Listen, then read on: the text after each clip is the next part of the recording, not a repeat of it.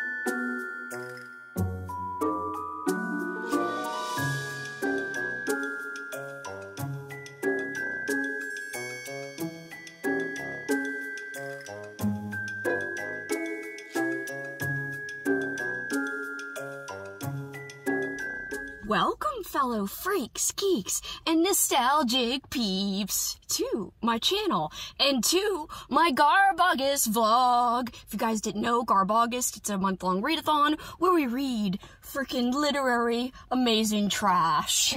And I say trash with love. Except right now, I'm in the middle of reading a William W. Johnstone book, and honestly, it truly is trash. It is The Devil's Laughter that is our official group read for the co-hosts and for anyone else who wants to join in. There is a area for discussion on my friend Olly's Discord channel. I will link his Discord below if you want to join us during the month for that read along.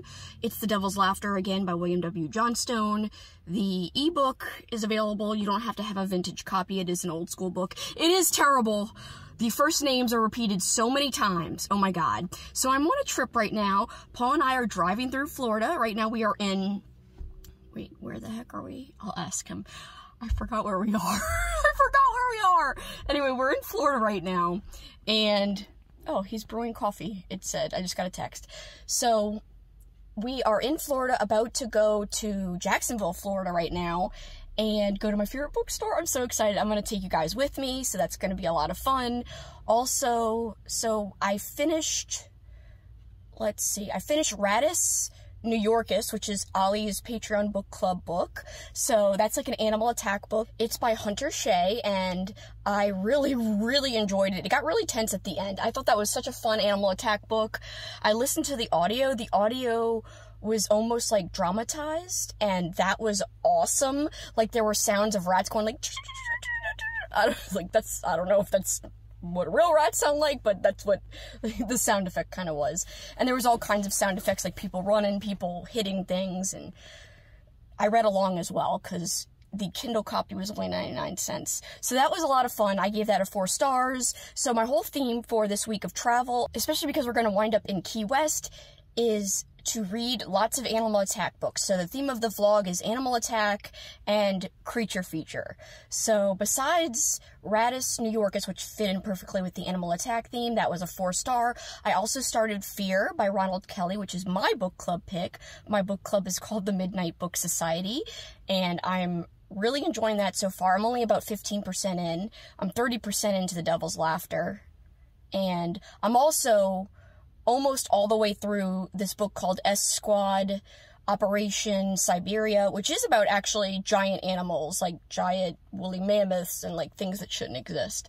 So that's kind of a creature feature of sorts. The whole thing, it's this army squad who investigates like paranormal and unusual activities, creatures, events, and they go in and have to do certain things because they're an army team, a special ops army team, whatever. It's basically like a, a men's adventure. So I'm almost done that. I have 20 minutes left on the audio, and I think I'm in the middle of another book besides that. What else am I in the middle of? Well, I'm definitely going to start probably Jaws the Revenge this week. I am also going to start the book, I think Predators. It's about like a bear versus a shark in like a death match. Anyway, that's gonna be ridiculous and probably bad, but maybe amazing. Can't be worse than the devil's laughter. I'm gonna read some lines in an upcoming video called Kelsey Quotes William W. Johnstone, where I quote some of his work because it's so freaking bad. It's so bad his writing. It's ter- honestly, it's terrible. So the book's about Satanists and stuff in New Orleans. Uh, well, not New Orleans, in a small parish in Louisiana, and I'm from Louisiana, so it's pretty it's pretty funny to see him write about there. And his political views are really upfront, like in the book. Like it's like he uses every couple of pages to talk about like his ideals even though it's the character's ideals, you could tell it's William W. Johnstone's. It feels like I'm rereading The Uninvited by William W. Johnstone, which is also set in Louisiana, and it's about killer roaches, but there's a very similar main character in The Uninvited to the main character of The Devil's Laughter. The Devil's Laughter main character is called Link, and yeah, he's very much like, I like guns, I hate people who, uh, come to my property and I have the right to use deadly force if they're on my property without penalty from the law. I don't know. And he just keeps going on and on. And it's like, whatevs, okay? Whatevs, William W. Johnstone. I get it. And the writing's just very simplistic and terrible. And I'm like, how did he write so many books and sell so many books? I have no idea. Anyway, that is about what I am up to. I don't think I'm forgetting any books that I'm in the middle of. Like I said, Fear is the main one. And I think I'm also going to start Jurassic Florida, which is another Hunter Shea book that I got the audio for when um, I also got Rattus New Yorkus. It came with the audio for Jurassic Florida. So I'm going to read that one too because I'm in Florida, bitch. So it's appropriate. Anyway, this is the kickoff clip for the vlog, but there's going to be lots of B-roll before and after, including the bookstore. Let's go. All right, guys, I will see you at the bookstore. It's my favorite bookstore in the whole country. See you there. Hello.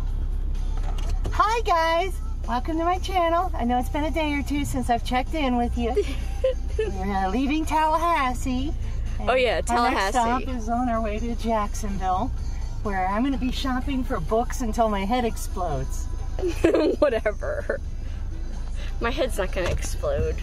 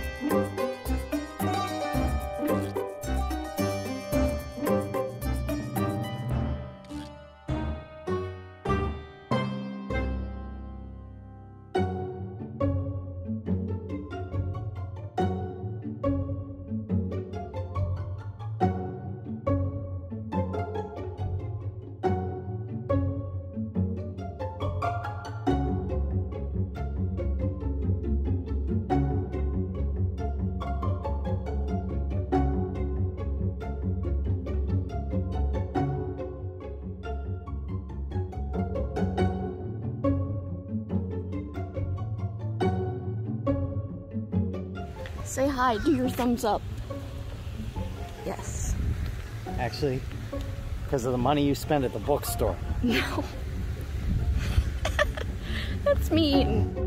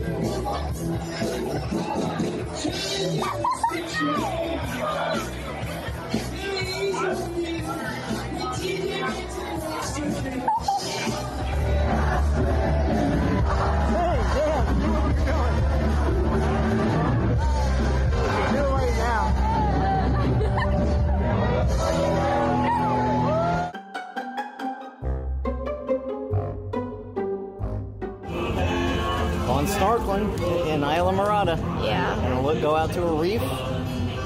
Hopefully it's not all bleached out. Yeah. Meanwhile, I'm hungover as hell and feeling very badly. We'll see if I can survive this.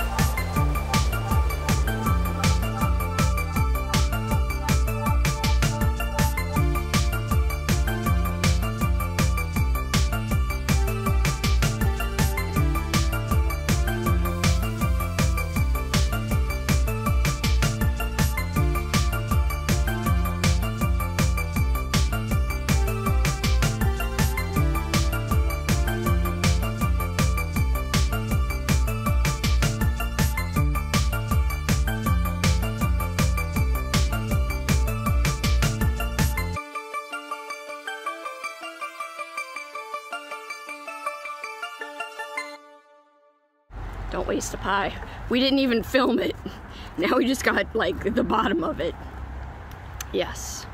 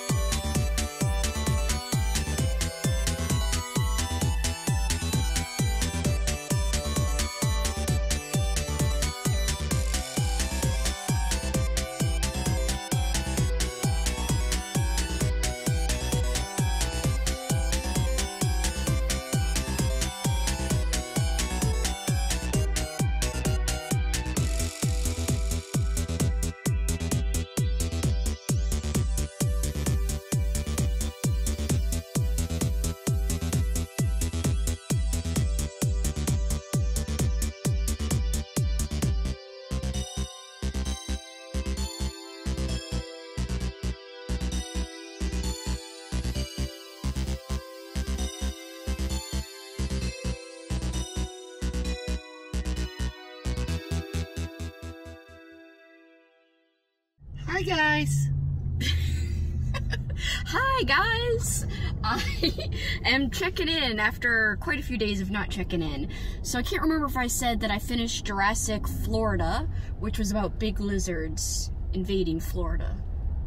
Because we were in Florida, you know. We were. Yes. Oh, we are We- still. We're not. We're never going to leave Florida. Apparently. Yes, we are in a very slow traffic jam. I guess there's an accident, even though the GPS doesn't show that there's an accident mm-hmm. when I just looked it up. So anyway, we're stuck in traffic. We're starting our long drive home today. Today is the 19th. of August. Sure. It's Saturday. anyway, so I just wanted to give you guys a reading update. Jurassic Florida was fun. If I didn't already say anything about it, I give it like a three and a half star, maybe a three. I have to decide later. But it was enjoyable, great, fun animal attack quick. I just listened to the audio. I'm also halfway into Jaws the Revenge. The book cover fell off, and I'm using it as a bookmark now because it's a very old copy. So yeah, I'm actually over halfway. So this is really fun. Lots of grief depicted in here because Ellen Brody, she loses another person close to her in this story. If you haven't seen the movie, it's very very close to the movie except there's one added element which is like a voodoo type of element which I actually think makes the whole thing make more sense because Ellen goes with her son to the Bahamas because that's where he lives and the great white shark follows her and they're not supposed to be like swimming in Bahaman Bahaman waters anyway Bohemian, I think. Bohemian anyway Bohemian. what is it Bohemian. Bohemian I think. Like Bahamas, Maybe, Bahamas, yeah. Anyway, it makes more sense with the voodoo subplot. I'm liking it, but it's very much like the movie, and I like the movie, so maybe that's why I like it so much. But I'm having a good time with it. There still could be more shark attacks, I'm just saying. I also started Schrader's Chord by Scott Leeds. This is an advanced reading copy from Tor Nightfire. Thank you, Tor Nightfire. And I do not think this is garbage, but I am making an effort to read this now because it's coming out in the beginning of September and it does have a vintage horror feel to it. It starts really fast. Like the first 60 pages read super quick. It didn't feel like it dragged at all, which is good because this is a longer book coming in at almost, let's see, 400 and over 430 pages. So it is a long one, but it's not feeling long, even the first 60 pages. And we're getting to know the characters. I'm really liking the characters quite a lot. Essentially, this guy who owns this record store dies in a mysterious way or an unusual way. His kids get involved, and I think there's a haunted record. We haven't gotten to that point yet, but there's definitely some spooky things already taking place in the first 60 pages and great character development, like I said. So, liking that quite a lot, and I'll keep you up to date on that. That's about where I am. If I could finish these two books on the drive home, that would be wonderful. I would feel like I could wrap up this vlog. It would have been great to read The Meg. That was one of my plans, a shark attack theme. Yes, I'm aware. And now that we haven't gotten eaten by sharks, I feel better about reading these books. Because we went snorkeling and we did not get eaten, but we did see sharks. We saw a nurse shark. I saw one, Paul saw two. And I saw a turtle. It was cool. I tried to show Paul, but he he missed it. I did.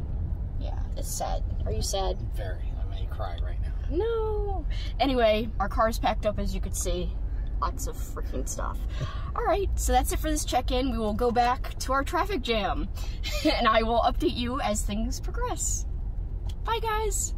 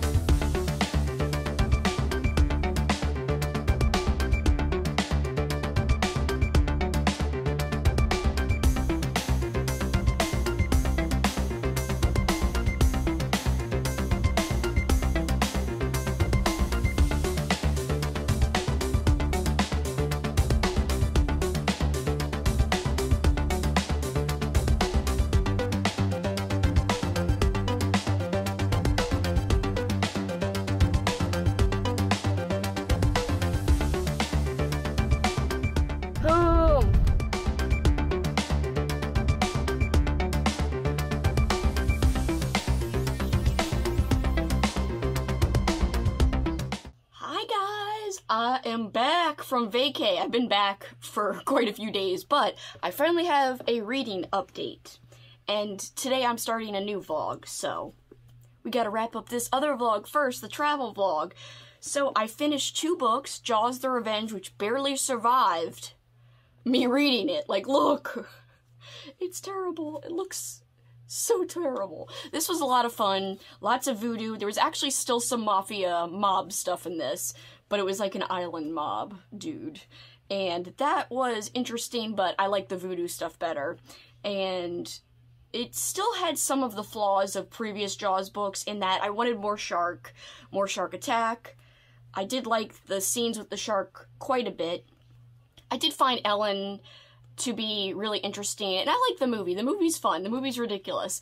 And I was picturing basically the actors from the movie in this book, so that was a lot of fun. I say overall a decent time, gave it a 3.5. I actually like it more than Jaws 2, so it was a lot of fun for me. All right, and Last but not least, we got Schrader's Chord. This was so good. It's about a son and his sisters who get left these records from their father after he unexpectedly passes away in a very unusual way. And these records aren't your usual records. They kind of seem to do something sinister. May or may not open the land to the dead. anyway, uh, wonderful stuff. They have to like solve a mystery the whole time. My only complaint, and it's a very small complaint, is it probably could have been tightened up a tiny, tiny bit. However, I was never personally bored. I actually thought that it read really fast for being over 400 pages, and I thought that at the beginning when I first updated you guys, and I still thought that all the way almost to the end. It was just like the last I guess 100 pages. I felt like 50 or so could have been tightened up. But overall, I think this would be a great read. One, for people who love like musical elements in their horror. I also think it'd be a great read whether or not someone really is into horror. Like if someone likes thrillers more, I feel like this could still appeal to them.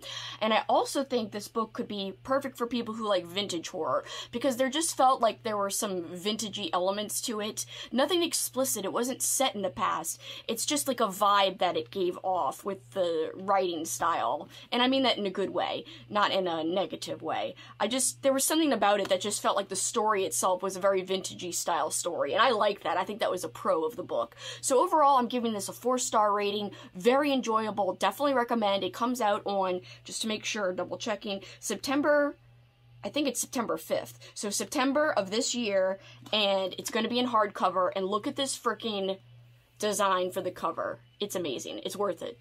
Uh, I just think it's a great adventure. It's an interesting book. There was a great mystery. I think also if you love character development, that's the number one reason to get this book because I love the character development. I thought the characters had great relationships to each other. I enjoyed my time with them. I felt for them. So yeah, the characters were number one. Then the plot and everything was number two for me because that was interesting, but I loved the characters. I love great character development. So whenever that's in a story, I'm like, okay, I care about what happens. And so that is what is pulling me in and making me invested in the story. So there was a lot of characters, but I actually liked all of them. I even thought that the, some of the smaller characters were even well done. Uh, there was only one character. I didn't know why she never came back into the story. It was one of the sisters uh, I was like, why isn't she a bigger part of the story? That's my only gripe with the character per se, but every other character I thought was definitely there for a reason, was well fleshed out, and was enjoyable. So, highly recommend, especially if you like the elements that I mentioned. Specifically, if you like a book with musical elements or a book with great characters. I think those are the two main things that you would uh, enjoy if you checked out this book. And also, again, I think it's appropriate for either thriller readers or horror readers. There's some horror in it, but it's not over the top, in my opinion. Like, there's some gore, but not overly, like, in your face, not like an extreme book or anything. So I think it's pretty much universally appealing to almost anybody. Alright, guys, those are my thoughts and my last two reads for this vlog.